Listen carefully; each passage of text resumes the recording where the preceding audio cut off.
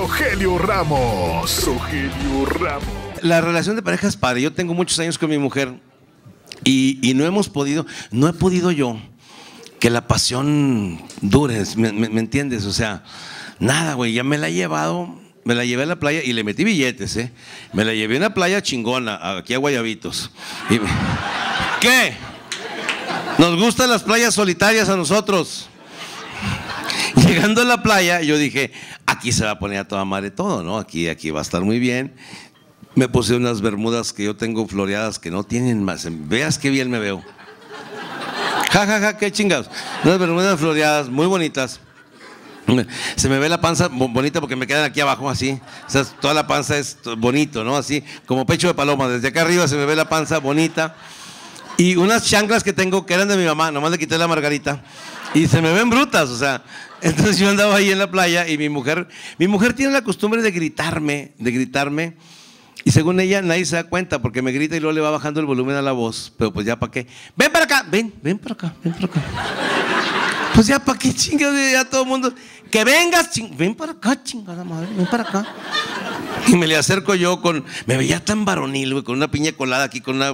Con una, con una, som- una sombrillita y una cereza.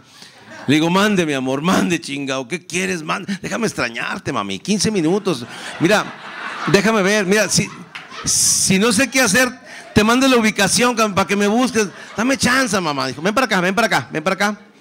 Y poniéndose la mano aquí, me dijo en sílabas: Ponte la camisa, por amor de Dios. Digo, ¿por qué, mi amor?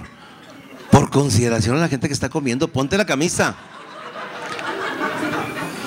Ah, les da mucha pinche risa para que sigan platicando, digo. Yo tengo que reconocer que me cambió el cuerpo, me cambió.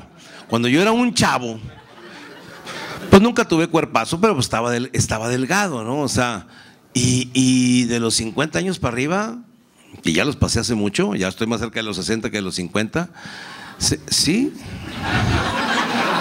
Tengo 58 años, aunque parezca de más, me vale madre, esos tengo, tengo 58 años.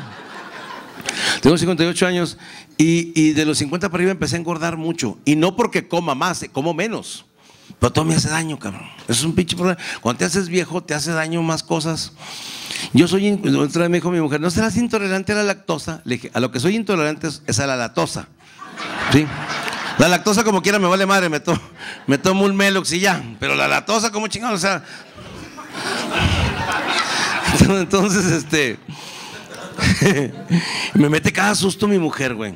Porque mi mujer, ahorita a lo mejor la, ven por ahí, pues, ahorita que se ría porque es muy prieta, entonces que le se le vean los dientes ahí. Me mete cada susto, güey. El otro día yo dormido, hace 15 días, y abro los ojos y viene saliendo del baño, está morena de madre, ¿verdad? Y así morena, y la vi y dije, bienvenida, hermana hondureña. Dije, yo, yo, yo dije, nomás hay frijoles, digo, porque pues luego se molestan porque les da unos frijoles, pero dije, nomás hay frijoles. Y, y- y yo, o sea, tiene un tipo entre Rigoberta Menchú y, y la esposa de, de este, de Obama, así, así más o menos. Entonces me molesta. Pero ella cree, ella, eh, la piel oscura este, no se arruga. Le digo, ah, cabrón. Pues yo me dan ganas de decirle, hay excepciones, hay excepciones. Porque ella me ve todos los defectos del mundo a mí y ella no se ve nada, güey. O sea, ella se ve que está toda madre. Y yo le sigo la corriente, pues para no pelear, ¿verdad? Le digo, ay, me- estoy, estoy en flaca y en flaca, ¿verdad? Le digo, sí, de madre, sí, sí. Porque, por ejemplo, yo sí he estado engordando mucho. Y ella le molesta que yo engorde. Yo no sé por qué le molesta, pues total, el que estoy gordo soy yo. A ella le molesta que yo engorde. Mira nomás. Ay, ay, no, pero Dios. Y, te va- y un día fuimos a un desayuno, nos sirvieron a todos. Y apenas le iba a dar el- con el tenedor y me dijo, ey, ey, delante de todos, güey. ¿Te vas a comer eso? Y yo volteé con, miedo, güey. No, no, no, hombre. Y toda la gente, bueno, nadie comía, güey. Como que dije, ahorita, ahorita me va a cagar a mí también. O sea, todo bueno con tenedor aquí. ¿Te vas a comer eso? Y yo, hablando como Sammy, le dije, me voy a comer, me voy a comer esto. pues, ¿Me voy a comer esto? ¿Me voy a comer esto? Sí, me voy a comer esto. A todos nos dieron lo mismo. Fue un desayuno donde sirvieron todos igual. Y yo me quise ser fuerte con el mesero. Le dije, señor, todos vamos a comer esto, ¿verdad? A todos nos dieron esto. Y el mesero la vio porque, o sea, es morena, pero se los pinches ojos se le brillan así, güey. No, ahorita la ves, ahorita la ves, no crees que estoy jugando. Y este, y el mesero también todo dijo, hablando como Sammy el mesero, todos vamos a servir esto, todos vamos a comer esto, todos vamos a comer esto, señores. Dijo, mire, quítele, quítele, dijo, te lo vas a comer con tortilla.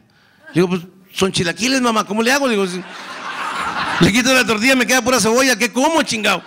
Y, y, le dice al mesero, llévese los chilaquiles del irresponsable este y me le trae una ensalada, por favor. Y el mesero era igual de mandilón que yo, igualito. Porque lo lógico es que me hubiera preguntado, ¿qué pasó, jefe? ¿La mandamos a la chingada? ¿Qué, qué? No, no, no, no. Agarró los chilaquiles y se los llevó.